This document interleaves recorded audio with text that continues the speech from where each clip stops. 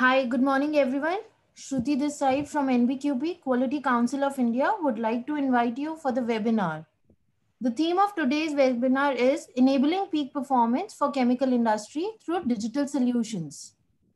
The chemical industry is an essential supplier to a great number of other industries and has become increasingly complex because of the wide range of products it manufactures and also due to its expanding processes. The process industry are mainly aiming for a higher flexibility, efficiency, availability, shorter time to market, along with safety all across the value chain. Digital technologies are presenting immense new potential to not only meet these objectives, but also to help companies in designing new products and processes. So through this program, we try to provide you an understanding on what challenges and issues the chemical industry usually face and how the chemical industry can harness the advantages that are possible through these smart solutions. The agenda of the program will have the presentation from Mr. Tanmay Dukoy and Mr. Neeraj Pritwa, following which we will take few questions from the participants as the time permits. The participants may please mention these queries for the speakers on the chat window. So let us introduce our first speaker. Mr. Tanmay Dukoy is a process automation consulting team head for chemical and glass industry in Siemens Limited. He completed his BE in electronics engineering from Mumbai University and has more than 15 years of experience. During his career, Mr. Tanmay has handled various functions such as engineering and commissioning, project management, business development. His core areas of expertise lies in process control, system instrumented systems, and digitalization solutions. During his tenure, he has served many customers in chemical and glass, petrochemical industries, food and beverages, and pharmaceutical domain. Also, we have with us Mr. Neeraj Prithwa, who is a process automation consulting professional, chemical industry in Siemens Limited. He has completed his BE in Electronics and Communication Engineering and has more than 15 years of experience. In his career, he has handled various functions like business development, sales, tender, management, and project management. His core areas of expertise lies in process control systems, safety instrumented systems, and digitalization solutions. And he has served many customers in chemical and petrochemical industries. Mr. Tanmay, uh, you may please start with your presentations. Uh, good morning and a very warm welcome to everyone attending this live webinar on behalf of e eQuest webinars and Siemens. As you know, the topic for today's discussion is enabling peak performance for chemical industry through digital solutions. So let me, uh, uh, firstly, at the very outset, I would like to apologize for the brief delay that we had. We were facing some technical issues, but then we are good to go now. So let me, without wasting any further time, let me deep dive into the presentation.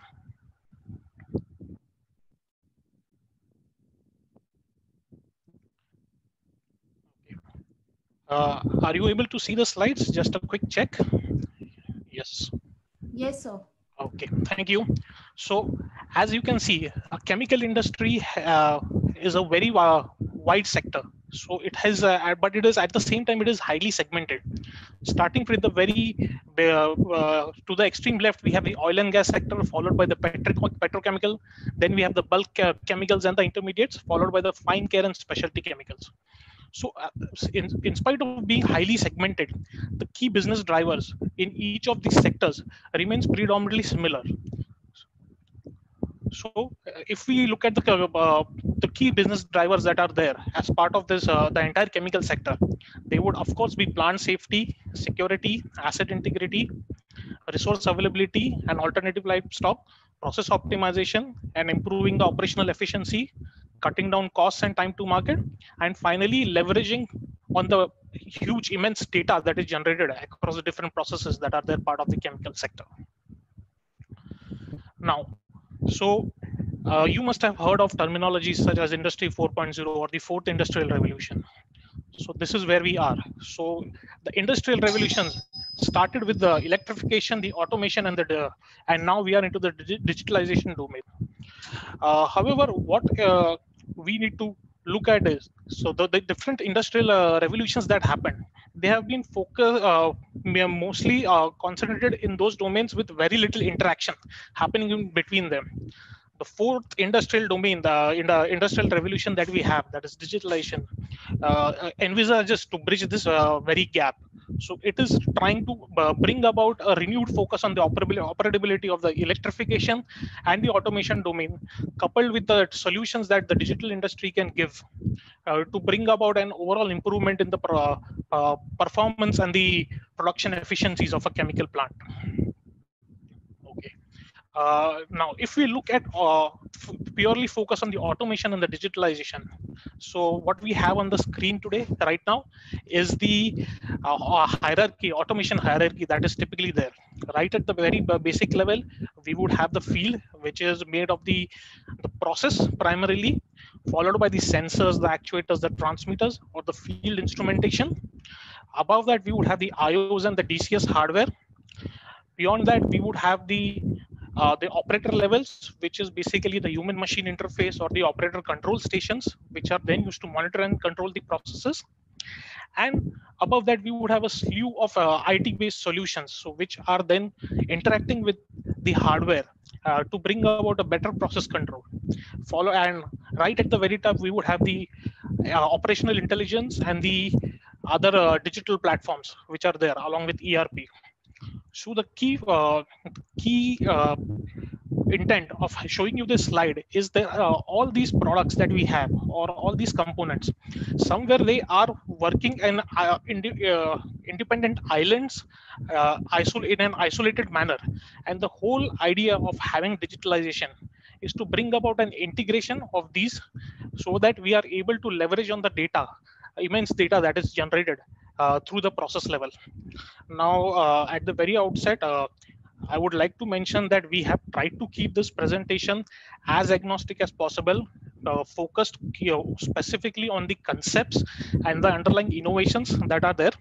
However, from time to time during the course of this presentation, you would probably see mention of some names uh, which are related to products from the PCS1 or the Siemens portfolio.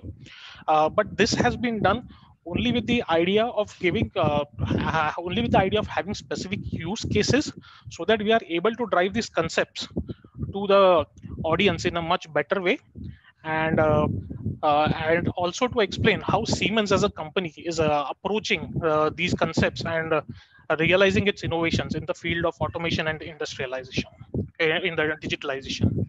So let me move to the next slide now. All right. So, so uh, let us focus. Start off with the innovations that are happening in the field of uh, automation. So we know that uh, DCS is a has been is a very high uh, mature industry. It has been there for many years now, and uh, I guess um, many many people in the audience would already be using some form of DCS in their plants. Uh, however, but in spite of being uh, having such a maturity level, the DCS has been forced to evolve and reinvent itself only because of the changing perspectives and the requirements that are there prevalent in the industry today. Besides its primary task of process control, automation or a DCS is seen as a funnel or a linkage between the field and the digital world. You know, innovations have been primarily focused with the intent of is the intent of enhancing the user experience through the ease of plant automation, plant operations and better process control, knowledge management through the integration of powerful process libraries, which help us to manage the process in a much better way, integration to the web, stronger integration with the field instruments, the analytical and the electrical products that are part and parcel of every chemical industry. Uh, innovation, uh, enhancing the integration and operability of the software systems, which at different tiers of the process control. And uh, finally, it is to achieve what we called as an integrated plant architecture, followed by integrated engineering and integrated operations for better and better use of data. So what we have over here is just, for example, we have tried to show the innovations that have happened in the last uh, 20, 20 years in PCS7, which is our DCS. And these, you can see from here that the these innovations, which we have tried to incorporate over the years, bear testimony to the fact that I'm trying to make over here. So when we talk about integrated system architectures, right from the field level to the control level, what do I actually mean? So when I speak about common field bus technologies, so earlier what used to happen that we have uh, we have a slew of products which are there uh, operating in a field. There could be field instruments, there could be switch gears, there could be uh, analytical products, and there could be other subsystems and things like that. But these then are talking to each, uh, talking among its uh, among themselves on a variety of protocols. However, because of the advent of digitalization, there has been a consistent focus on consolidating the, these field bus technologies and uh, uh, working work towards having fewer but more universal field bus technologies, which are primarily based on Ethernet or RS485, that is the two-wire protocol. So this is where the intent is, the common field bus. What this has done also is it has helped in integration of uh, different uh, uh, varieties of field devices on different varieties of field instruments on a com- uh, on a common platform along with the electrical along with the analytical products and so on and so forth.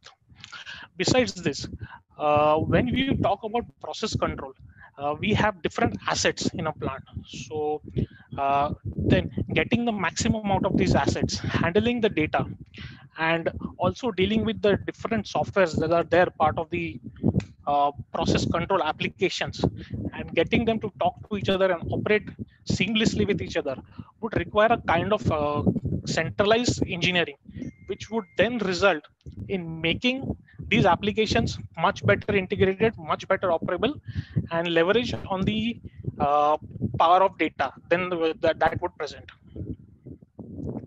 so let us take some examples in the in this case. Now, if you focus uh, purely on a DCS software, typically it would have libraries which encapsulates the knowledge that we have gained from a process, be it condition and monitoring, advanced process control, or instrumentation related libraries.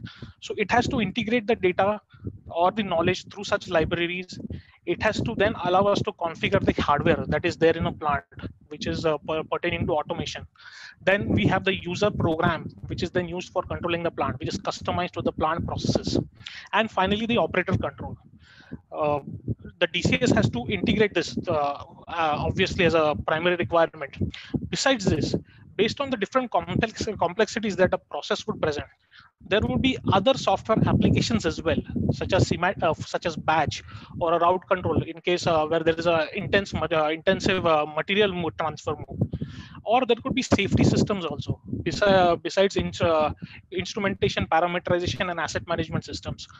So having a common database or having a common engineering platform allows you to seamlessly exchange data between these applications and use it uh, as uh, use it as and when needed or provide it to the uh, applications which are on the sitting on the upper tiers for advanced analytics and uh, control. So if we look at some specific applications that are there which currently uh, were also working as an island until now batch management if we move uh, very uh, towards the fine care and specialty chemical sector sector we would see that the processes for a fine or a specialty chemical would be mostly batch oriented. So there would be complex batching requirements and the challenges of course that this would present for a control system uh, are totally different. So this normally necessitates necessitates the use of separate batching softwares which have the inbuilt uh, technology to manage such things. But with the advent of digitalization, uh, the structure of how these batching systems are built has been uh, has been moving towards a strong standardization. Uh, some of the standards which are there prevalent for batching technologies are ISA 88 or 21 CFR Part 11, especially for pharma. There is also a need to pass on data from such batching applications to the uh, upper MES or the operation management layers that are there, either through API calls or the ISA 95 B2MML standards. So this is what is the, the new innovations that are happening in such softwares to integrate it and bring it into one common pool. Now let us look at uh, uh one another, another application would be route control. So normally a route control would be like the Google Maps of material transfer. So whenever there is a requirement for intelligent material movement in a plant, uh, be it through a labyrinth of uh, complex pipelines or conveyor belt systems, So then, uh, just to reduce the or the ease the burden uh, of the operator, it would call for certain softwares which are focused core specifically for material movement and material transfer applications. Such integration of such softwares with the DCS software and integrating them into a common platform so that the engineering can be handled in a much better way is also something in, in a, is also where the DCS softwares are moving forward. Uh, on the safety front, so normally the traditional view is to have the DCS or the BPCS uh, operating separately and the integrated uh, safety applications or the ESD systems generally working separately with separate engineering and operator stations and so on and so forth. Uh, however, it has been realized that if such safety can also be integrated uh, in some way with the DCS applications, the kind of uh, know-how or the kind of ana analysis that we would present uh, that it would present uh, related to the failures and things like that is immense. So integrating the soe applications for example with the standard alarm applications uh, from a dcs this would uh, help us in better analysis of the failures that have happened in a plant. Also with the uh, uh, use of ESD applications, the field bus technologies uh, that are there. So they are also moving towards a more robust field bus technology wherein uh, features of a safe communication are also uh, getting onboarded on the standard uh, field bus technologies that we had. For example, one for example would be a Profibus, uh, ProfiSafe communication, which then also happens over Profibus field bus. Now, one of the key requirements, one of the key requirements of an automation system is, of course, the upkeep of its own assets. So earlier maintenance station. So wherever you have a requirement for a maintenance or an asset management station, uh, which normally would then look at the uh, healthiness of the assets of the automation system itself now with those integrations and linking that data of a failure of a, an automation asset with the and its effects on the process.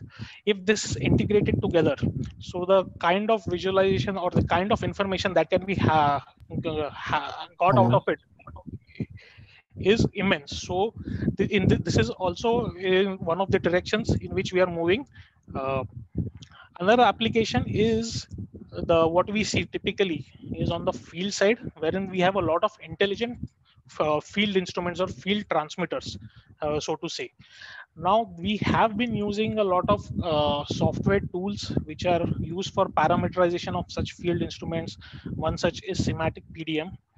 Uh, how, uh, but the to get the functionality of such a software tool, which only deals or uh, has uh, operations uh, related to parameterization of the field and emerging it with a common database of merging it with the common database of the DCS uh, brings out a better integration of the field uh, along with the DCS applications. Also, with the advent of a lot of analysis and data data analytics and evaluation techniques, the, these tools also that we have are evolving itself uh, so that they can sit on cloud and probably have seamless data integration over XML over a unified data structure format and things like that. Even the devices or the field instruments that are integrated. So there are also standards being defined for a device uh, wherein a standardized device descriptor technology is used for integration of field instruments over the over the DCS application and uh, common databases. Uh, another application that I would like to, a uh, couple of more applications that I would like to focus on when it comes to innovations related to DCS systems or automation systems is the use of RTUs. In a lot of applications that we have in industry today, there is extensive use of pipeline automation for which we are making use of RTUs. Now within RTU, these are generally independent islands or independent systems with very limited connectivity with the central plant DCS and uh, central engineering and things like that is uh, actually really not there. But with a lot of, uh, with a renewed focus on uh, data management and getting things to work together in a more holistic manner, uh, there is focus on having these applications or these RTUs and integrating it with the plant DCS and automation systems. So this is uh, also in the direction which we are moving. There are being communicated uh, technologies defined and standards defined to have such communication established and uh, to integrate such remote systems, remote RTU systems with the central plant DCS. Another key topic uh, that we have uh, is we have a lot of switch gears in our plant. So electrical is kind of the main backbone over which the automation then would sit. So with with the when there is switch gear, there are also some amount of automation related to switch gear. Uh, until now, there was not much effort in the direction of integrating the process and the power automation together. Having a common platform would have its own benefits. Having a uh, into us uh, even having a this also simplifies the architecture that we have in the plant at an overall level. Now earlier what we used to do is we had some switch gears such as pcc mcc and things like that medium voltage switch gear. And we used to have a lot of copper, copper cables running from the electrical systems to the automation systems. Now we are uh, moving in the direction of having uh, uh, integration of these switch gear over smart buses. So there are standards defined for such integration. That is uh, one of them is IEC 61850 and today's automation or DCS systems are also moving towards integration of such uh, uh, uh, integration of uh, switchgear automation in the long run. Okay. Uh, I would also like to touch a little bit in detail upon the safety systems that are there in the market today uh, and the technologies behind it. So uh, when we are operating a chem chemical plant, we know that the plant safety is of utmost importance because uh, the lives of people, environment, and processes at stake, along with the plant assets. So we uh, there is a we have been also discussing newer te uh, technologies in the field of uh, process uh, process safety or safety integrated wherein the safety systems, which earlier used to reside as a separate island or a separate independent system altogether, and the benefits that could accrue out of uh, integrating them with the DCS level. So normally when we talk about safety, we many a times confuse safety with availability. We feel that the more there is, the better it is. In the process safety parlance, safety is measured by something called as a SIL level. I think we all must be aware about it. And uh, this cell SIL level is derived primarily on the basis of the probability of failure of a device or a component when it is called to perform its safety function or its duty. Naturally, components with uh, poor design or poor fabrication will fail often and they will have lower PFD or SIL values. Hence, more such devices need to be brought in together to achieve the desired PFD or the SIL levels. Now, this is different from availability. So in this case, the, uh, the more that is there is not exactly better. Because uh, uh, with certain technologies like FMR, which are which are coming into the uh, which are there rather into the market, so we are able to achieve highest SIL levels that is uh, demanded by the process industry, that is SIL three, even with a single controller or a single IO card. So you don't need to add more IO cards. The focus here is to have just the right amount of SIL or just the right amount of hardware required to realize a SIL or a, a SIF in the safety domain. Now, let us take one example. So there would be some applications in a process control, which would need safety, uh, probably up to SIL 3 level, but uh, the application is a very low demand application. So in that case, we can realize SIL, uh, SIL 3 systems even with a single controller and a single IO card. In some cases, if the demand is more or the uh, either it is a high demand mode or a continuous mode. So in that case, probably we would need to have more hardware, which is purely from the uh, base on the basis of redundancy and availability. So we could have probably a one out of two SIF or a two out of three, three SIF. So here the focus here the focus is on uh, achieving the SIF level only with the required amount of hardware that is necessary. So in this case, what we are able to do is instead of going for, so we are, uh, because of this, we are also able to optimize on the amount of hardware that is needed. And finally, it is necessary in cutting down the OPEX cost of the plant. So this is how the, the uh, key benefits of integration we have tried to highlight over here. earlier when SIS and bpcs applications are separate they would normally talk to each other through gateways but this adds uh, more point of failures and the communication itself is also very slow uh, if you see because uh, then there's a protocol there could be a protocol difference and so on and so forth with an integrated system we could have a common engineering approach uh, wherein the BPS, BPCS and SIT can be programmed with the same engineering uh, software and they can be visualized together on the same operator station. So then the, uh, this would also result in reduced training for the plant person to work on different tools, which uh, probably for the one for BPCS, one for SIS. Another approach is to have an integrated BPCS and SIS. Normally in applications where uh, there are very few SIS loops, uh, where for example uh, just one or two SIF loops in a plant. So it doesn't make sense from a cost point of view to have a separate system altogether.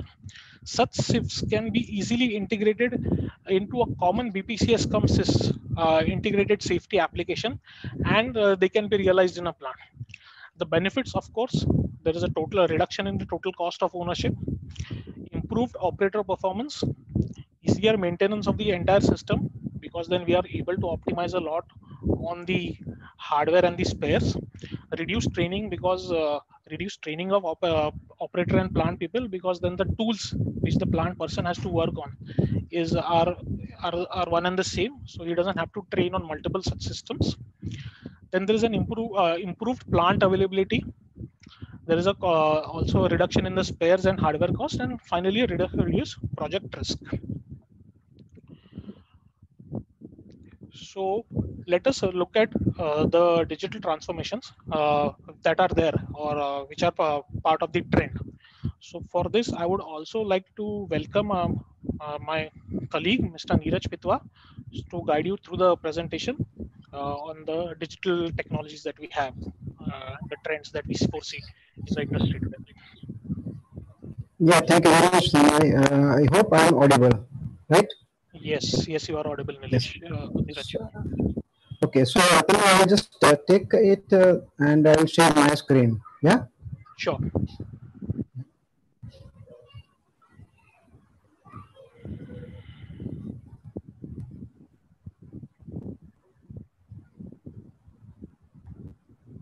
Atale, can you just uh, remove your uh, sharing so that I can take it because it is still showing? Yeah.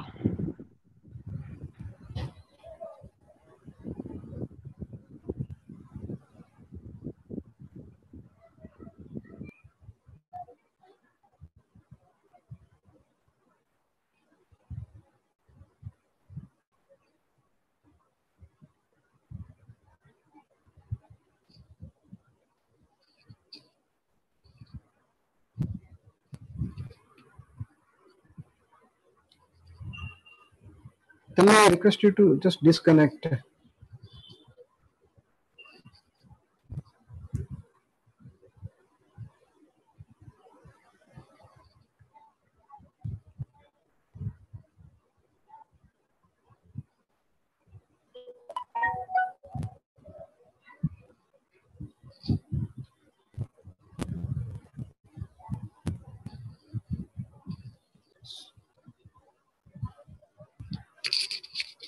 So uh, I hope you can see the screen as well as you can hear my voice. Is this fine now? Yes, sir. Okay. So uh, welcome all participants. So my colleague uh, Tanmay just briefed about the automation system, which is actually a basic pillar before we transform into the digitalization. Now uh, we will see why there is a need to uh, transform digitally you know. So to put it simply uh, it's we have seen a different industrial revolution right from mechanization to mass production and then automation. And now this is the fourth industrial revolution. To put it simple if we don't catch the train then we will be left behind. So that is simple reason. Lot of companies are lot of companies are uh, uh, deploying IoT devices, more than 73 percent. I just, uh, I'm just getting that voice is not clear. Audible enough? Sir, please maintain some distance from the mic. Your voice is getting distorted. Okay.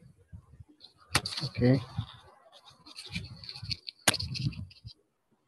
So is it fine now? Yes, sir. Yes, sir. Yeah. So a lot of companies are deploying uh, IoTs into their premises and then making use of those things. Also, there's another survey which tells that 20% workforce will approach retirement in next three to five years. So uh, this is the reason that we need to preserve the know-how of those people and then make use of digitalization, which is right here. Yeah. So and apart from that, a lot of companies, I mean, almost all companies is having ambitious targets to drive down the cost, increase productivity, reduce energy, and improve time to market. So these are some of the points. Now, what are the trends? So when I'm talking about the trends, now when I'm talking about the trends, uh, starting with the production optimization, we can use uh, different uh, modular plans and use it for the uh, integrating workflows and thereby we can achieve production optimization. There are also uh, augmented and virtual reality uh, available with which you can really empower the worker or the operator into the field. Apart from the device, they can also see the additional details uh, of the plants. Yeah. Then comes the smart supply chain.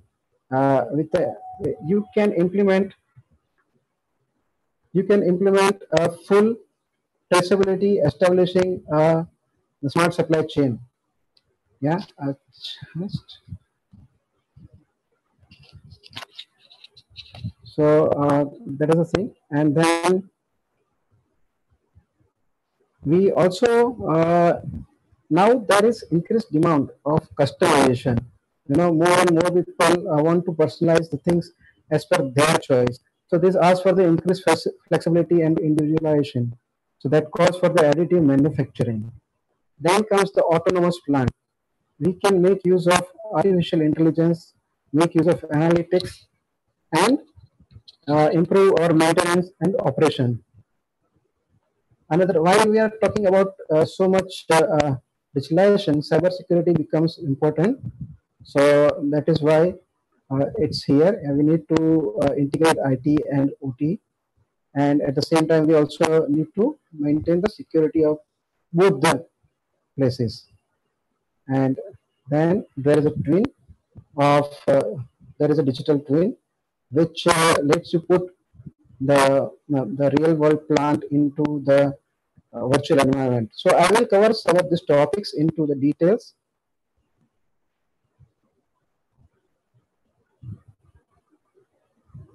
Now, so digital enterprise, how we can put our chemical industry on the way to industry 4.0. So before uh, uh, talking about digitalization, I would like to touch upon certain aspects. So when we are talking about the project, then that project involves different phases, right from product design to process and plant design, engineering, basic engineering, detail engineering, operation, and then service maintenance and modernization. Now, it is very much possible to implement solutions, digitalization solution for the individual phases. Yeah, but you can unleash the true potential if you can unleash the true potential of digitalization if you can implement digitalization throughout the entire life cycle. So, in order to uh, do this, we need to have a common collaboration platform. Yeah, I will be talking more about uh, this on to the coming slides. On top of that, you can have a cloud-based IoT operating system which can host third-party application and do the analytics as per the requirement of the customer and the KPIs. Now coming to digital twins. So what is it? So as I said, a digital twin uh, enables you to put the real world plant into the virtual world. Thereby you can perform certain iteration before you uh, put up into the actual uh, scenario and then you can see if your idea is really going to work. Yeah. Once you are done with that, you are satisfied. Yeah, design is okay. You can put it into the actual uh, actual world, and then uh, you can get it first time right. So uh, that is not the only thing about the digital twin. Uh, it also uh, can be integrated with so virtual world and digital world can also be integrated really closely. Yeah, how? So once the, uh, the uh, actual plant starts operating, so you can we can fetch the data from the plant and uh, get the performance data, use it for the analytical purpose, and based on that, whatever optimization uh, parameters or factors we get, we can again implement back into the digital uh, into the real world. So uh, this is the power of digital twin. So uh, I will again go into the detail for that. So what are the uh, different digital twins? Yeah, so when I'm talking about the digital twin, so there can be a digital twin for the product or plant. Digital, so you can see how your plant will get established. Then digital twin of the production or processes. Yeah, so how uh, your processes will work that you can simulate. Yeah, this is about the putting up into the plant, which is not working, and this is about the uh, putting up simulation into that, and then to to see how much how how these processes and plant are working together to produce uh, some performance uh, data. Yeah, so this is how we uh, can really make use of this uh, digital twin of three kinds plant processes or production and then performance. So for that you need a collaboration platform and obviously combined with the industrial security so coming to the collaboration platform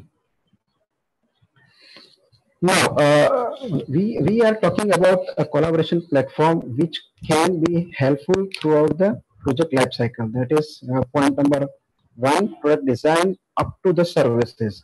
Now, uh, we know the typical uh, uh project engineering, how it uh, works. You know, it works in the sequential manner. First, the process engineering and then mechanical and electrical and other things flow on. So, it is very necessary that uh, we uh, whatever data is there in the earlier discipline get transferred into the next discipline as well. In case of any changes, uh, again they will be reworking into the next phases as well. So in a typical scenario, uh, how will be the uh, uh, the change? Sorry to interrupt, sir. Your voice is not clearly like heard. Can you maintain some distance from the mic? Yeah, again, okay. Sorry for that. Uh, is it okay now? Uh, please try speaking, sir. Yeah, is it okay now? Uh, a bit clear, sir. Please continue. Yeah, okay. So, uh, so I am here talking about a tool which is uh, designed in an object-oriented manner. What does it mean exactly when I'm talking about the object-oriented fashion or yeah. So let us take for example, for some reason, we need to change the vortex flow meter yeah, into the design documents to the Coriolis mass flow meter. Now this one change, this single change will drive lot of uh, changes into the different different documents starting from process flow diagram to P&ID, then function diagram, IO list, and many other things. But when we are implementing an object-oriented platform, then each and every document sees a database which is built upon the object. So each uh, document is a view to that particular object. So the moment you make changes in one place, it also gets reflected into other documents. So all documents are simply a view to this COMOS database. So how does it look like uh, when you are implementing this? So I have just uh, taken a screenshot of this software and you can see uh, the, the, there are different diagrams. Uh, here is a P&ID. Here there is a, single line circuit diagram, and then here is a uh, detailed circuit diagram. This part is uh, uh, attributes of the motor or the devices. The you can see over here uh, the 100 kilowatt here, 100 kilowatt here, and 100 kilowatt here as well in all the places. Now, the moment you change the attribute or the specification from 100 to something else, or if you are changing the ampere, then it reflects into all other objects as well. Yeah. So you need not to initiate a different workflow to so that people start working on that. Auto taken care. So this is how generally uh, engineering happens into the sequential manner and then there will be a bit of overlap onto this. But with this kind of uh, object-oriented structure, we can really uh, reduce time to market. And then that can be a really an overlap of uh, all disciplines and they can work, work together. You can save time, efforts, and cost. Not only that, this is not only about engineering, it is also about uh, end user. Yeah. So when you are transferring this data, then you can give it in the same uh, format in which you have designed and customer can uh, maintain this data which, uh, which can remain as it is. So there is no deterioration of the data over the time. So uh, this is the another model of uh, uh, three, three, COMOS 3D visualization the one which we talked about, the digital worker. This is a virtual reality platform. So with this 3D Walkinside, you can uh, literally uh, go virtually into the plants and then there are many use cases for this particular uh, feature. Okay. So for example, you can uh, train the new operator.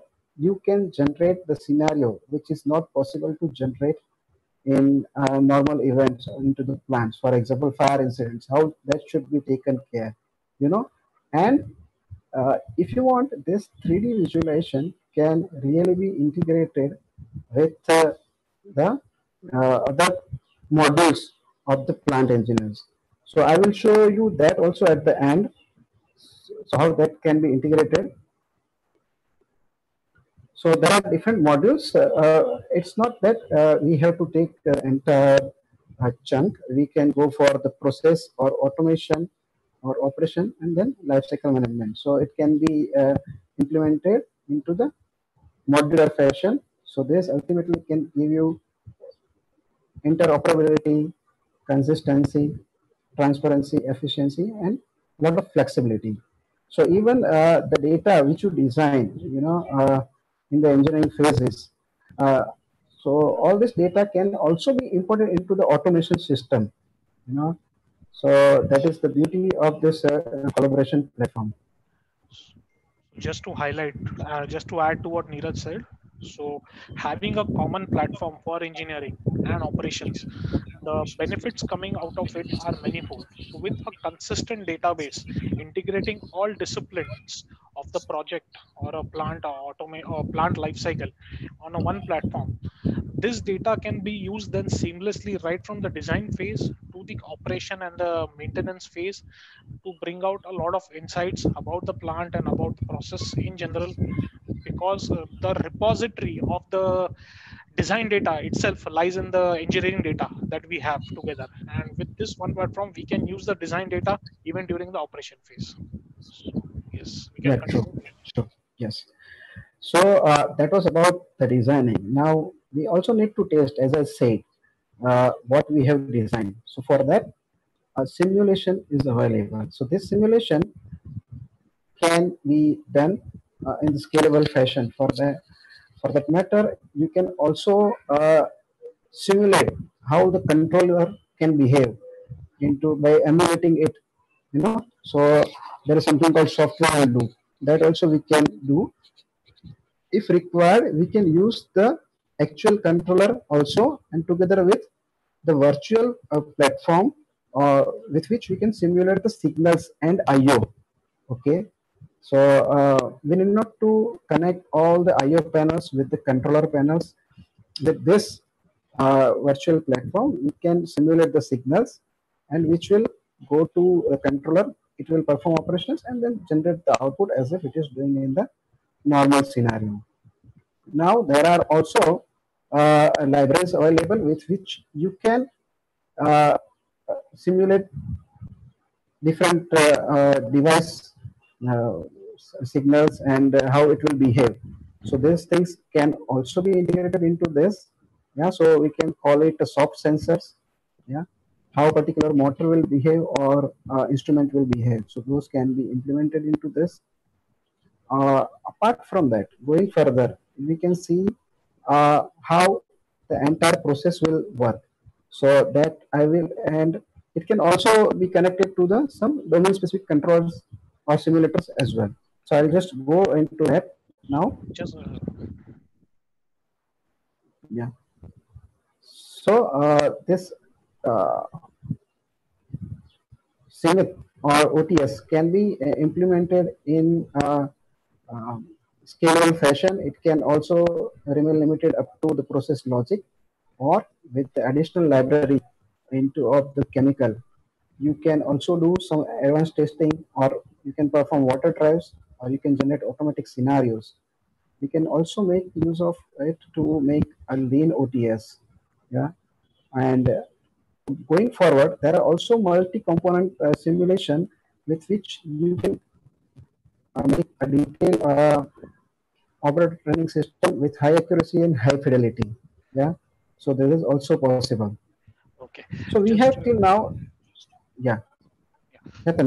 So just to add to what uh, Neeraj has said, and just speaking about the concept of simulation in general, so nobody can deny that simulation plays a very important role in whichever project life cycle we are. So be it from the design of the product at the in the R&D lab to the design of the process uh, to the plant operation and finally process optimization. So simulation plays a very key role at each and every project life cycle phase, right up to the decommissioning now if uh, the whole idea is see when you look at the real world there are a lot of things which we cannot do on a on a real world because of the obvious the hazards involved so what we try to do is with the use of uh, very efficient and good simulation tools we are able to replicate the behavior of the real plant exactly in a virtual environment.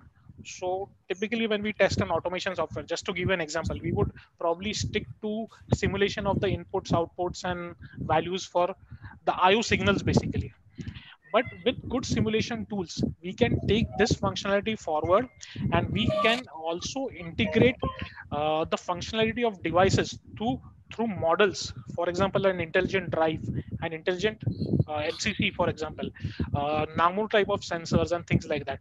So we can uh, we are able to then uh, uh, build templates or build mathematical models for such equipment such devices such components. We can also extend this further by using mathematical modeling.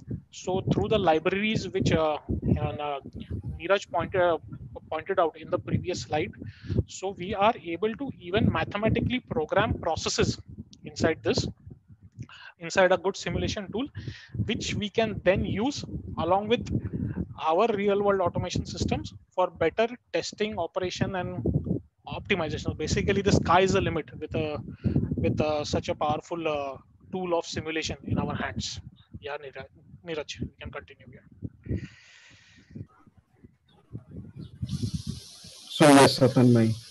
So uh, apart from simulation, we can also make use of uh, process master models, you know, which can uh, get into the depth of the chemistry and physics, and based on that, a mathematical model is generated, which is really helpful in, uh, for example, seeing the what if scenario. You know, uh, it can we can see uh, what will happen uh, in this particular process over the long term.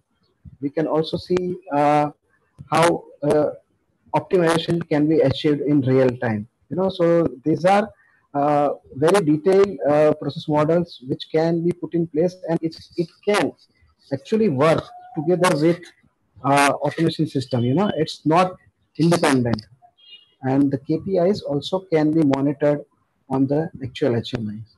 Yeah, so this completely makes uh, the virtual world simulation possible. So just to add to what Nilesh, uh, has said, so we are we are just taking, for example, one of the products which allows you to do uh, allows you to do exactly this from a Siemens portfolio. So speaking from a conceptual point of view, what what this system permits. So with such a system, we could have probably the demands, the order data, the availability of raw materials going inside such a tool. This tool with uh, which can uh, probably deal with process processes on the chemical kinetics level can help us uh, read data from a real plant and bring about uh, uh, advanced process control. we could also use it for soft sensors and also as he said for, to have decision support systems for future scenario simulations uh, so when Neeraj spoke about uh, the concept of a digital twin, the three pillars of automation, simulation, and uh, consistent engineering data are very critical to realizing a true digital twin.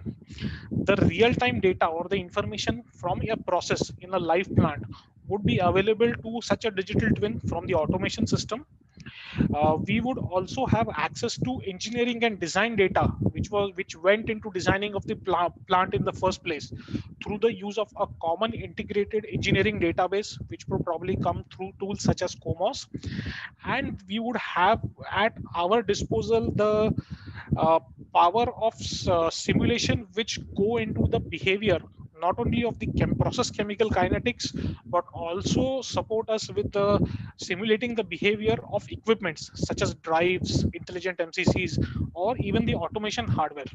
And when these three together would work in tandem, the true benefits of a digital twin would be seen. So any scenario that uh, we have, you know, that could occur under the uh, under the sky in a plant can be realized or simulated. And we could also have some future simulation scenarios probably take correct action in the present so that we can actually improve the performance or prevent deterioration of performance in the future. We could have better control of the process and better uh, efficiency improvements through optimization. So these this is one of the true powers of having a very strong digital twin with us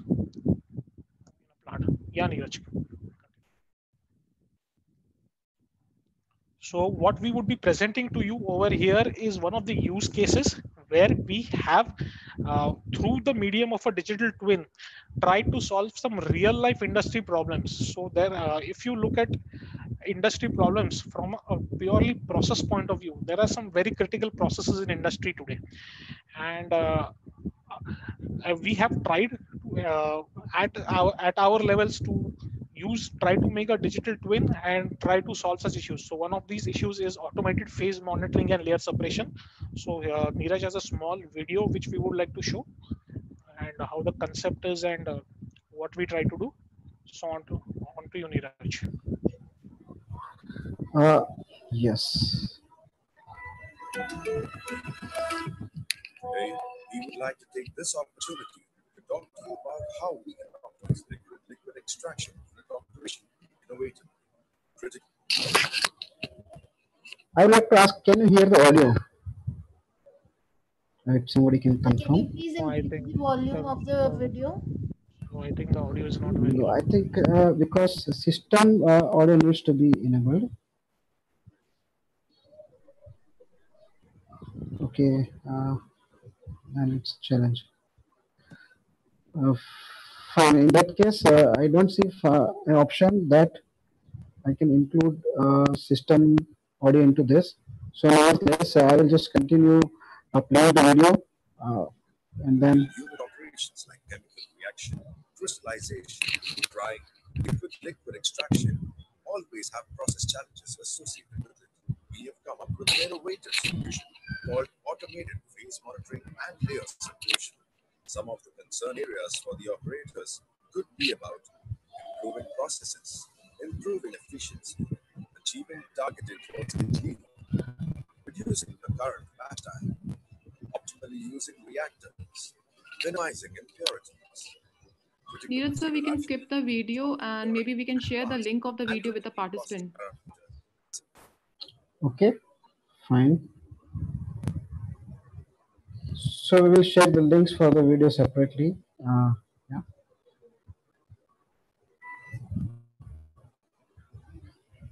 So coming to uh, operation intelligence. Now, this is very important in the plant when you have multiple plant units or plant. Each of the plant generates a number of uh, KPI information, you know, and then this needs to flow to uh, the headquarter for the KPI monitoring. Now it becomes very cumbersome to, uh, you know, monitor all this if this is not properly uh, contextualized. So in that case, a platform uh, which can give you really the operation intelligence can be of uh, real help. With that, we can uh, monitor different KPIs, for example, for quality, energy management, batch analysis, maintenance. So how this uh, is done exactly? So how exactly uh, is this done? Uh, uh, when it comes to uh, this KPI monitoring, uh, it fetches the data from the different system and then represent into the manner it should be according to their functions. For example, C or management dashboard, they would like to see what is the utilization and efficiency. There will be uh, some financial indicators which he would like to see. When it comes to HSE, uh, they would like to see what all are the hazardous incidents or CO2 emissions. So likewise, there is a corporate functions who can also monitor their own KPIs. For example, supply chain, R&D, sales and marketing also is possible, and quality performance, as I said. So this can be done. So how exactly this can be done? Yeah. So, uh, you just come back to the slide once, uh, previous slide? Yeah. So just to add to what Neeraj said, so if you look in a typical process plant or a typical enterprise, the data is generated by multiple such mediums uh, through multiple such platforms. So we would have the control systems, the DCS and the PLCs which are generating data. We would have process historians which have a repository of historical data. We would have engineering documents which have the plant and design data. We would have CRM tools. We would have tools which are related to MES and operations management. Uh, we have seen uh, in over the course of these presentations that e- these tools which sit at the lower levels of the hierarchy they have been constantly you know evolving and constantly innovating themselves to make this data available to the layers which are on top finally when the data is available from such different or varied sources the key challenge would remain is to integrate such data from different sources and correlate and contextualize them so so uh, and the needs for such data contextualizations could be different. So for a person sitting in a control room his needs to look at the data would be different from a person sitting in a boardroom for example. So here the kpis and things are different. So uh, the tool which is then ma- uh, analyzing this data and correlating the different sources of data should be equipped to present the data in the format in which it is decided by the uh, desired by the person who is looking at the data or viewing to make some key decisions so then uh, Neeraj, on to you, then we can continue Yeah, so, uh, so how this can, uh, data can be collected?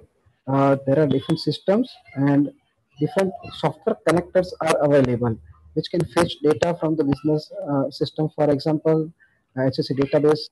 So, and then analytical systems, or system, laboratory system, simulation, process historians. So all this data uh, is available in different different format, and there are different systems. So all this data is first of all is collected is then put it into the manner there is a duplication which is avoided it is organized properly and then it is contextualized as per the function of the person or uh, team who wants to monitor that particular kpis or parameters. Now this is uh, possible to monitor over the pc mobile or even a smartwatch or even augmented reality devices. Yeah. This can also uh, get connected over the cloud. So this was about uh, uh, digital twin, uh, operational intelligence, and now uh, to enable all these things, you know, a very important thing is that we need to have a very good communication and security over the network. So for that, we need to make use of different products. For example, gateways or communication card, which uh, talks with automation system and transfer the data to the uh, operator station or below that, above that. Then there are networking components. So for example, uh, there are industrial network component which is used for making the network back, backbone across the plant. We also need to use uh, wireless devices at times and then security devices, uh, firewall switches also. And in a chemical plant, there's often a harsh environment. So in this case, we can make use of rugged network components. Yeah.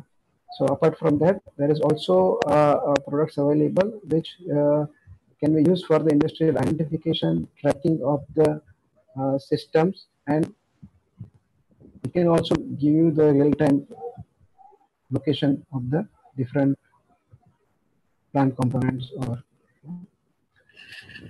so now uh, when we are talking about digitalization and so much data what was the scenario?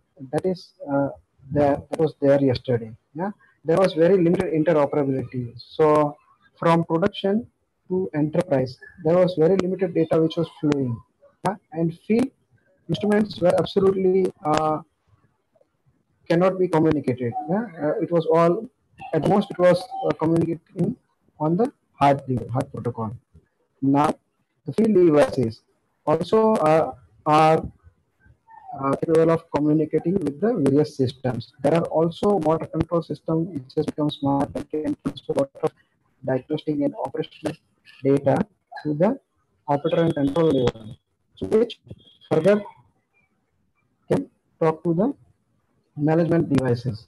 Now, uh, this is there today. Going forward, when we're talking about digitalization, more uh, data more, more, and more devices uh, are capable of communicating and more and more data will be generated which need to transfer from uh, production cell to enterprise network. Now, in such a scenario, it becomes very uh, important to understand the priority of the different uh, teams. For example, there is always two teams, one is IT and one is OT. So uh, the priorities for the IT will be first of all the security of the entire network patch management. Yeah uh, taking action in case of there is cyber attack is is discovered. Yeah. Then uh, how to ensure a smooth user experience. And then how to uh, have overall transparency of the network. Now when it comes to uh, operator guy then uh, the, uh, the the priorities are different. He wants to make sure that his production is available uh, at all time. He would like to increase the production availability he would like uh, that he can see the overall OT processes from the single point or control room. He would like to just, when it comes to security, he would like to just ensure that his uh, OT system is not getting attacked by uh, some cyber attack or some outsiders. Yeah. So in this case, when there is increased amount of data and security concerns, it is necessary that we put in between a production backbone. How uh, this can be done and uh, what exactly it does. So in this scenario, uh, for example, the IT OT guy will have a responsibility of production related things. Yeah, so he will uh, mainly look into the uh, parameters as per his priority, and then there will be a IT guy who mainly looks into the enterprise networks. The production backbone in between uh, joins this. And then this is uh, generally a responsibility of production guy but it is in agreement with the IT guy. Now how this integration can take place? So all the rules who can define who can access which system and how? So that all can be written into this production backbone and accordingly the data exchange can take place Now, uh, coming to the security concept, uh, in earlier days, one security uh, switch or firewall switch or at max a few more switches were enough, you know, to protect our plant. But in today's scenario, when there is increased data and communication, it becomes uh, important that we put around multiple walls for protecting our plant and the data. So first of all comes the plant security, wherein we can uh, have the physical access protection. Yeah, as per the user, you can give the access, entry access. I'm talking about the physical access of the plant. You can also monitor the plant premises with the smart solutions or building building management solutions. You know, so this is very much possible with the plant security uh, wall. Then comes the network security. When I'm talking about the network security, we can implement the cell protection. We can implement the demilitarized zone, firewalls, and VPN tunnels also can be implemented. And uh, third and the last thing is system integrity. Actual uh, into the system, we can do a system hard hardening. We can do some patch management. Yeah. So when I say system hardening, it will allow only certain applications to uh, operate. Yeah, and then within this system also you can do uh, authentication and access protection based on the roles of the user.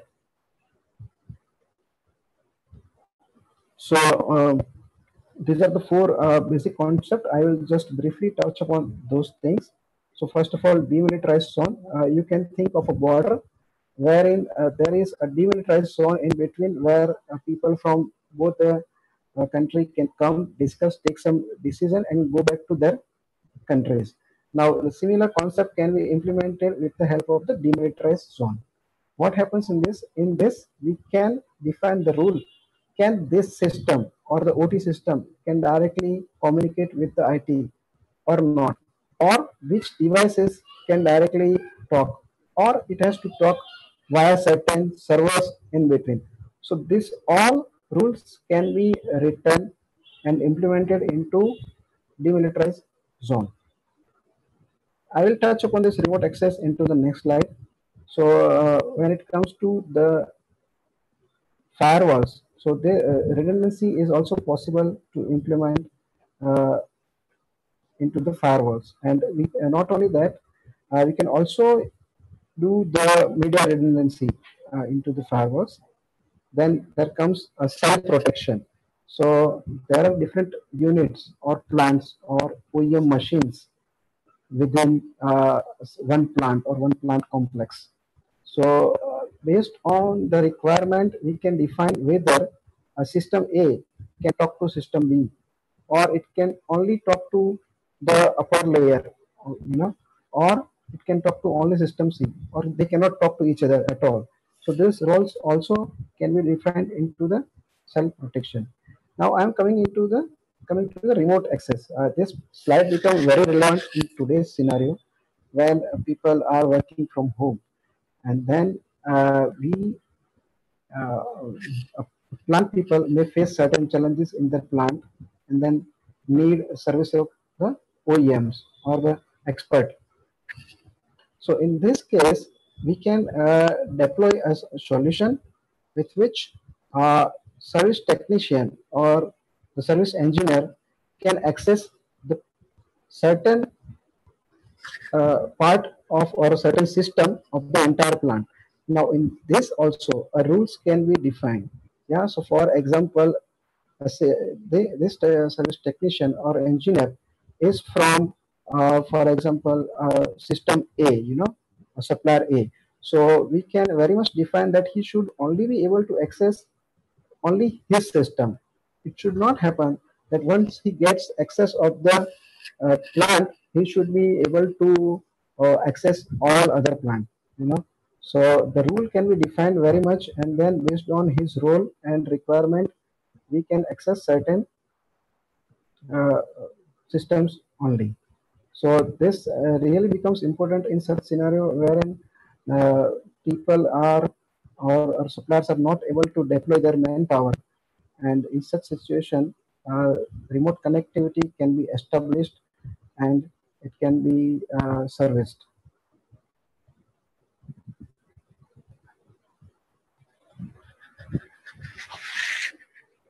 Now, uh, coming to IoT platform, uh, which I just talked about the initial slide. Uh, so when I'm talking about the cloud platform, uh, there are three concepts which prevails actually. Uh, infrastructure as a service, then platform as a service, and then software as a service.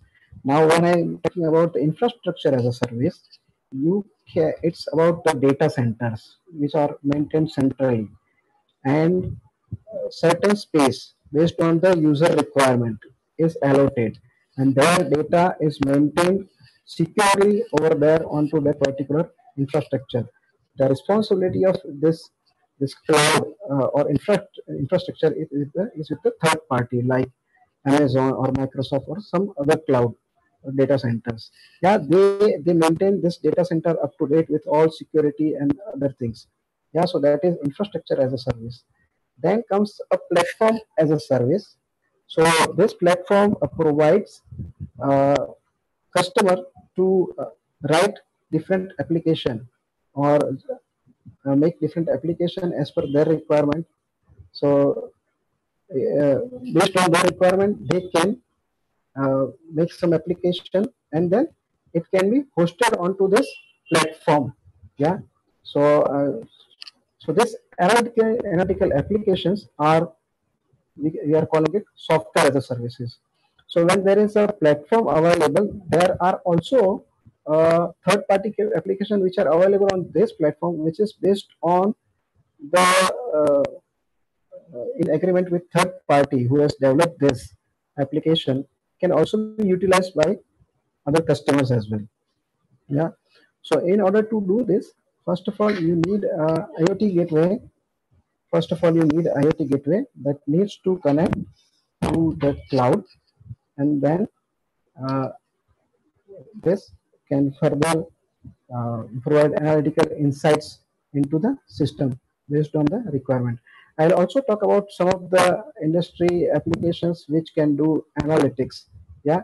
So this uh, at, time what happens that we need to do uh, certain uh, calculations or certain analytics uh, in the real time. In this, devices plays an important role.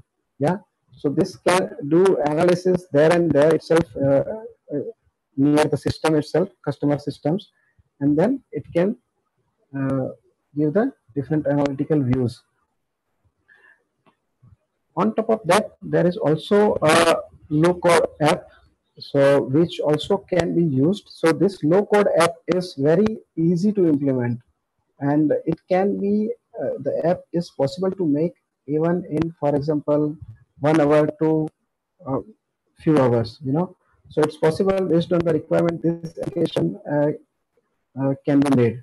So such low code applications, uh, uh for example, a developer who wants to you know uh, develop this particular application can have a short course. Uh, they can finish this course into the two to three days also and in a month also and then they are ready to go with development of some basic applications so that is very much possible with this kind of low code applications.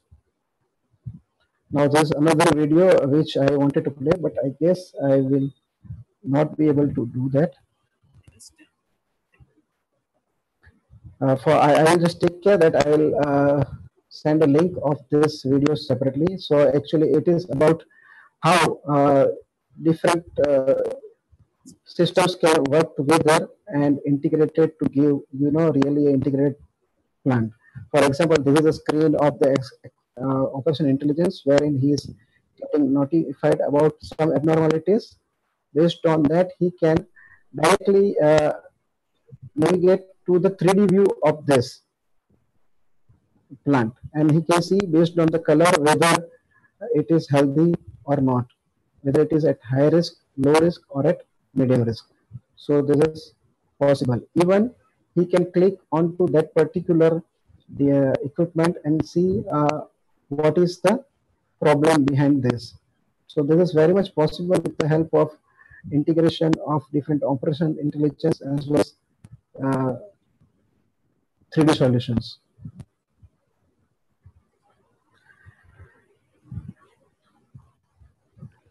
So now coming to uh, different analytical apps.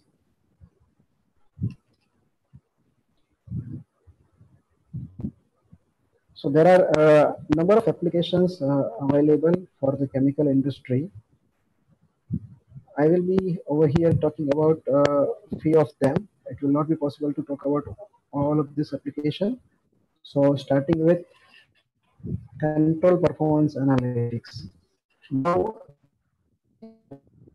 uh, Okay. Uh, Neeraj, your voice is breaking. So till it corrects, so let me just continue. So here what we have tried to highlight. So as you saw, we are very, very accustomed to using our app stores and the Google Play stores to download apps on our mobile phones and using them as and when required. So uh, there is also an attempt been made.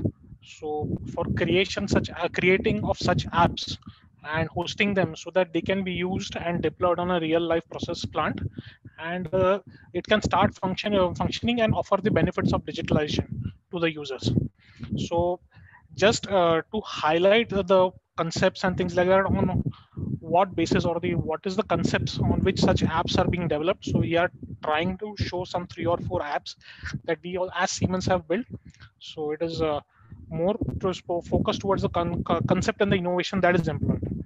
So one such app that we have created would be typically to monitor the control loops that are there. So in a typical chemical plant, uh, there would be a lot of control loops per se, that is PID controls and things like that. So maybe there would be simple controls, there could be complex controls. And uh, over time, what we see is the performance or the behavior of a control loop will tend to deteriorate. So when you have freshly commissioned the plant, the control loop is freshly tuned and things like that, and it is able to control the pro process to a very good extent. But with time, due to cavitation and things like that in the heating cooling media, medium pipelines and things like that, so the uh, control loops are not able to then uh, control the process in a way which, which it used to do so what, what such apps would then do is uh, it would then probably read through the medium of a DCS, which is then funneling this information from the DCS into such apps which are which could be on a cloud or an on-premise platform, and then it would be historically monitoring the control loop. So it could be reading data about uh, the different uh, parameters that are there as part of the control loop and it would try to correlate them with respect to the outputs of the control loop. And whenever it sees a deviation from the typical behavior of a PID for, for the way it used to work early uh, vis-a-vis the way it is working now it would probably in initiate a warning to the operator that uh, that he needs to do something or probably look at uh the loop which is not probably working or uh, controlling the process in the best possible manner. It could also probably use such internal data models for optimization of a, uh, such a PID control loop, which is not for, uh, working to the best possible extent. So it could probably read parameters such as the gain, the integral time, the derivative time, the output, the manipulated variables, the, the uh, rate at which error is changing, so on and so forth.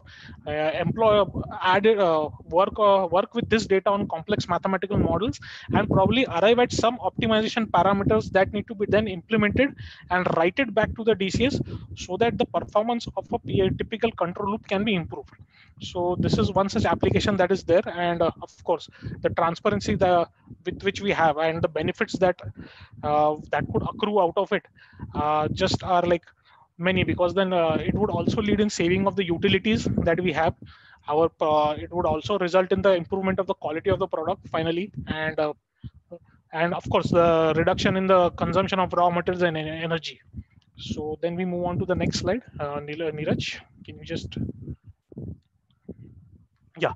Another such app that we have worked is to monitor the valves. So there would be uh, some very critical valves in a plant. So based on which the performance uh, of a or, or, the good good performance of a process would depend so uh, there uh, we can also using this data, which is then available through the DCS into such platforms or into such apps, we could uh, monitor such apps, or we can directly talk at the positioner level, directly talk into, uh, to, to the positioners and things like that, and get a lot of information. So typically, when you interface a positioner with a DCS system, normally it would have a 4 to 20 milliampere signal which is traveling into the DCS, and then we are probably having some PID control and things like that on it. Beyond that, a typical positioner would read much more information or much more data into the process which is happening, which we don't make available into a DCS or a normal on a normal level. Such data can then be directly picked up from the positioner. This data could be, for example, related to the maximum strokes that a positioner has done or there could be related to uh, issues related to stiction or friction, or there could be some slipstick, uh, which is there uh, in a control valve, which a positioner will detect, but a DCS may not detect. And we can compare this with historical data and we can give uh, maintenance alerts or probably we can tell that a particular valve is working fine or a particular valve, valve needs some maintenance and things like that. There is all we could also have such provision inside such apps to have something called as a prescriptive maintenance which will look at such parameters based on some predefined kpis for different valves and then based on uh, uh, based on these kpis it will tell us how my valve is doing. And then probably it could tell us a, a date when we could have a, when we need to do a maintenance of such a valve based on how it's uh, uh, based on the parameters uh, how it's working now today so these are uh, obviously the benefits would be again utilities uh, saving of energy saving of utilities uh, saving of the raw materials and improving of the quality and the performance of the plant operations so next we would also look at few more valves applications so one of them is a predictive analytics app. So this is also come some. Uh, this is also something that is uh, developing and not at a uh, developed and not at a conceptual phase. So there, this uh, some of these apps are um, all of these apps are basically ready to deploy at site. Uh, one such app is EPA or predictive analytics. So basically, when we talk about data analytics in general, so we have different sources of data. So DCS being the primary source about uh, process information. So such, this app would then uh, read such information from a DCS, it would apply techniques related to machine learning and uh, artificial intelligence to this data to kind of build a model for how the processes were, were running. And with some domain experts uh, support and things like that, then we can uh, define that uh, uh, this, uh, band of performance is supposed to be good and whenever such some parameters out of our plant deviate beyond the acceptable uh, parameter limits it could help us in predicting that uh, that we are deviating from the performance and somebody needs to look at the maintenance on a priority basis or, or on a or it can even lead to some predictive maintenance possibilities based on correlations of the different plant parameters that are that are there in the plant. Uh, can we move to the next slide, please? So obviously the benefits are improved productivity.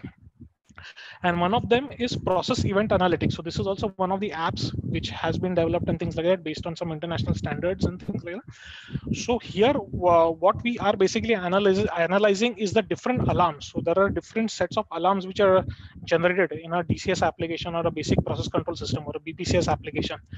Uh, making a detailed analysis of such alarms like uh, doing an analytic study of which are the, the sections of a plant which are generating most alarms against which operator the alarms are generated the most which devices are repeatedly generating alarms or the frequency of alarms from which equipments is very high so that then we can have targeted maintenance activities of these alarms.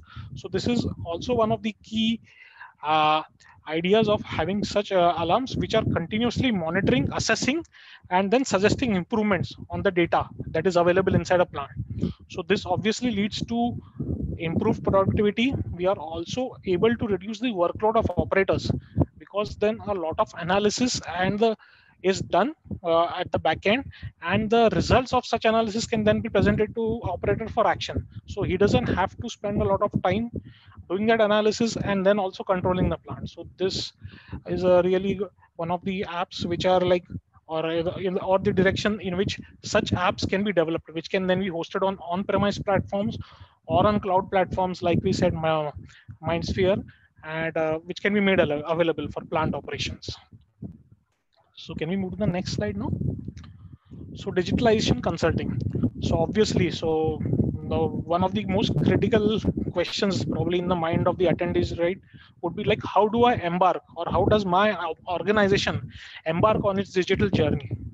So so if you really look at the things that are happening there are the technologies are changing at such a fast pace it's really difficult to keep track and get overwhelmed with the kind of developments that are happening so under such uh, platforms it is uh, uh, uh under such developments it is very necessary that an organization clearly defines a path uh, on how does it want to go about transforming and uh, or take up the digital journey for its enterprise. So can you move to the next slide? Yeah. So it is very critical to ask right questions at the right place. For example, the very first question when you start your step-by-step digital transformation is with the why. So what are our business drivers? Uh, what are our key motivation motivating factors uh, due to which we want to take up a digital transformation where do where would you like to start so what are the key kpis or the uh, which we would like to target to improve uh, what is our major current maturity level with respect to the digital solutions that are in industry? The next question to ask would be how. So identifying precisely the most impactful projects that we should take up on a priority because investing in technology is uh, is a, could be a costly affair. So in this case we should have a very targeted approach or at least to start off uh, focusing more on the aspects which would probably yield us uh, more prominent results at the start. So, and the next, obviously, the last question to ask would be when. So, and which would define then the clear roadmap and the investment cases to take up for a digital transformation. So, we at Siemens also do it. Uh, uh, uh, and also support our customers with this uh, digital transformation. However, if I have to talk about how to embark on this journey, these are the four questions which one needs to focus as an enterprise, as an organization to start on this journey. Hello, can we move to the next slide? Yeah.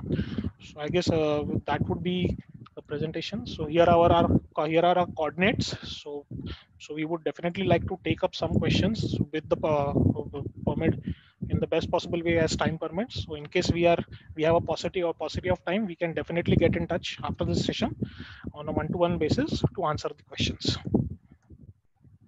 Thank you, Tanmay sir and Neeraj sir for an for such an informative session. I would request you if you can take up the questions appearing in the chat window now.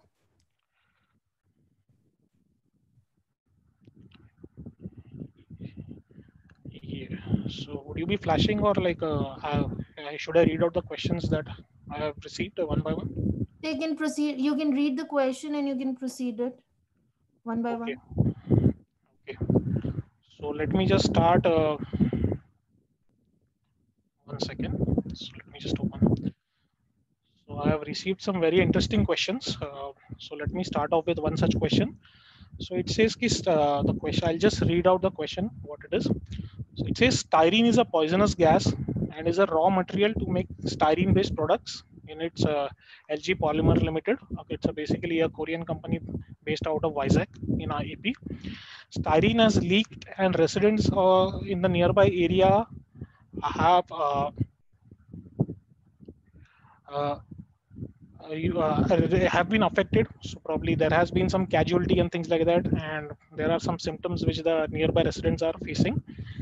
So and there is an ongoing covid-19 issue. So so what meaningful applications uh, be it in the chemical or the process safety uh, would you recommend uh, for based on industry 4.0 so an inter interesting question. So so this i would like to uh, look at this question in a slightly different way. So since we uh, styrene being a monomer and it needs to be maintained uh, whenever it's stored in a raw material tank it needs to be maintained at specific temperatures and kept under constant circulation so that there is no localized heating and there is uniform temperature just to avoid any pressure changes and things like that. So being that and when we are handling such hazardous chemicals so obviously there should be a safety system in place of course based on the and based on, and it should be implemented based on the, find, the findings of the HAZOP study and so what i understand is key Uh, we, don't know based on this question whether it's there or not.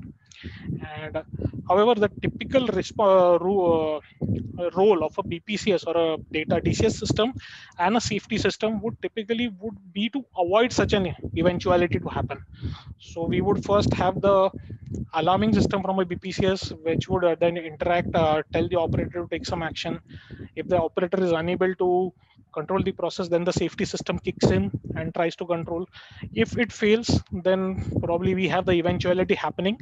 But then the focus should be on active and passive containment of such an eventuality. So, uh, we don't know whether it's there so probably uh, and even if we assume that there is a safety system like this maintaining of the instruments so that they perform the safety function when it is desired so periodic maintenance is necessary doing a partial stroke test of the SIF, which then regulates the pressure in the tanks. Whether it has been done, we need to see. Uh, yes, digitalization apps and all will help, as an immediate app which Neeraj suggested was uh, since we are in a COVID situation, lockdown, I understand there is no plant operator to take some corrective action. However, with secured remote access, so uh, one such project uh, product that Neeraj showed was the SINEMA Remote Connect. We are able to safely connect to a plant which is under shutdown. So you could probably connect to an engineering system or an operator system remotely and securely over VPN and try to activate some functions probably which would prevent further release of gas so that we are able to contain the damage. Second if we go on to digitalization so whether our instruments which are then supposed to mm, uh, maintain the pressure in a healthy manner are these working in a right manner so as I showed, showed, there are some three or four instances of apps which we have tried to develop, which are uh, monitoring the field instruments or the equipments which are there in the plant.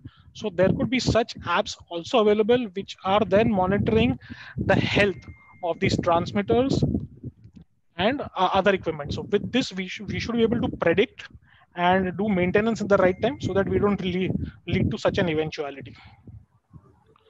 So I would like to take up the, I hope I have answered this question. So I'd like to take up other questions also. Uh, there is a question from Mr. Vian Chaudhary. It says that can there be a rethinking or revision for integrating DCS and SOP for HSE warning, isolation, setting off any hazardous gas or chemical leakages?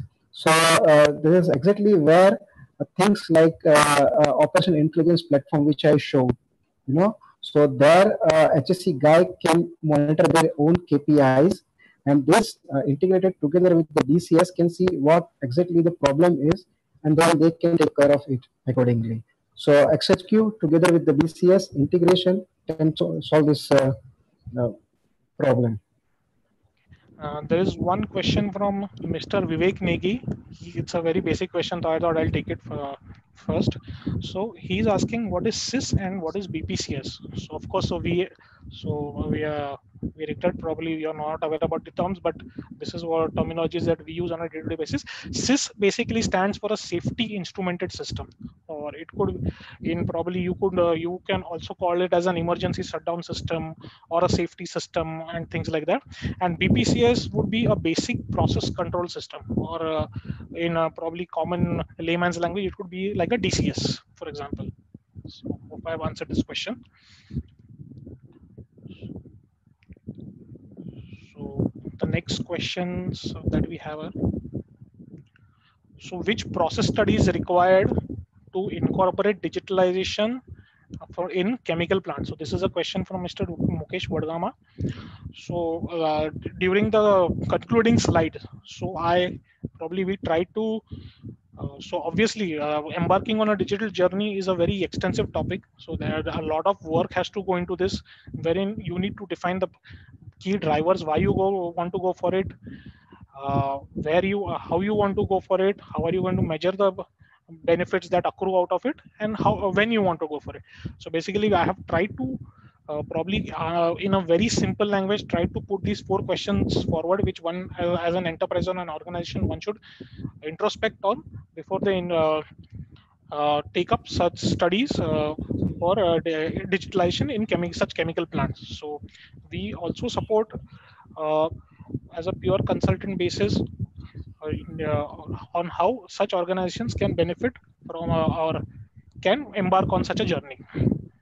Yeah, there is uh, another question from Mr. Ashok Kumar Nanda. Say some example of automation to reduce waste. Now, reduce waste actually uh, uh, is where we are focusing, but then the where we need to focus is actually uh, the processes, you know, which generates uh, waste, or it starts with the raw material. If the raw materials are really uh, used efficiently, so that all uh, whatever we said, you know, we need to performance digital twin can play a role, and we can see uh, how this uh, process can be optimized to reduce waste.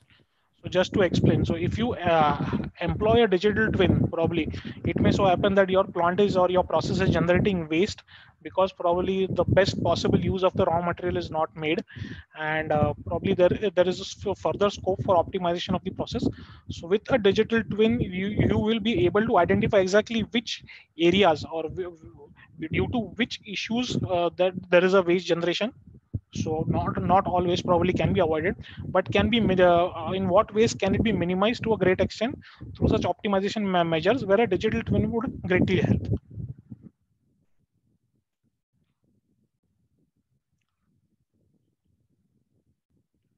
So uh, there was one more question from mr madan mohan khanna. How and cost how the cost and performance can be greatly improved so it's a very generic question. Uh, so there are multiple ways in which you do it. And it's not like it's just uh, you implement one solution and you would see the benefits. Uh, you would need to make changes, make transformations at all levels, right at uh, on the field level, then at the some innovations or some at the DCS or the automation level. Then we would have to uh, need to have the right software products with you, which will help you benefit uh, out of the data which is generated with, the, with these changes so that you are able to optimize and bring down the cost and improve the performance in your processes.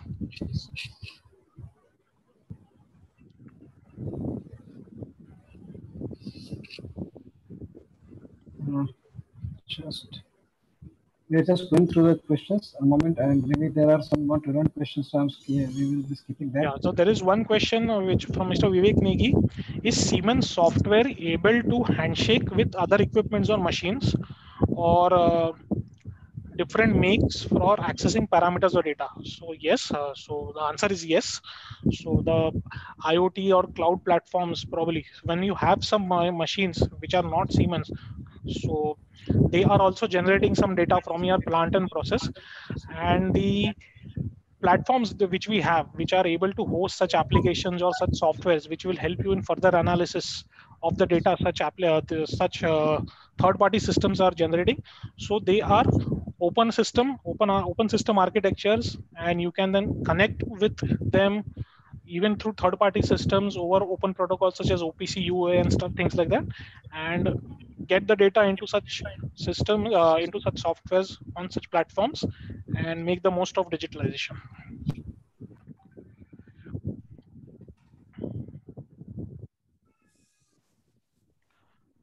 So there is one question from mr manjunath siddegowda do siemens have above solutions for textile processing um, vertically integrated textile mills from spinning to end customer. Yes. So theoretically the kind of apps or solutions that uh, that can be had is uh, infinite. So you could have generic apps the way try which we try to show which probably are sector independent and can be deployed be it pharma chemical food and beverage, beverage so on and so forth. You can also design apps specific or tailor made to your requirements. For textile mills for example there would be extensive uh, use of drives and things like that and there would be a close coordination of drive trains. So we also have apps which are specifically dealing with data analytics of from the information or data which flows from drives. So there are such apps available readily with us.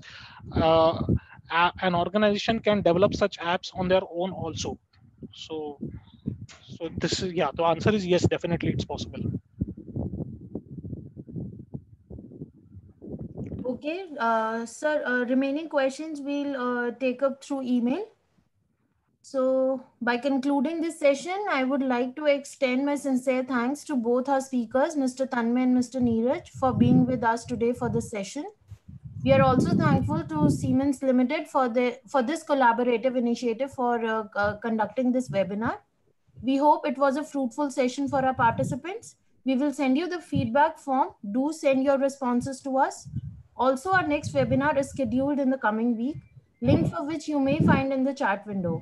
We'll also send you the notification about the same.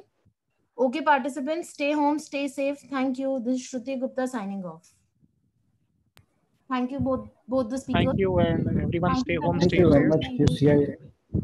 Thank you, QCI. And Thank you. thank you for your active participation to all the attendees.